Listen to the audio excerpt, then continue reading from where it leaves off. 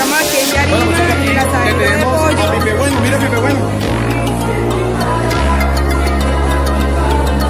Asadero de pollo, súper chévere. Donde pueden venir a comer su pollo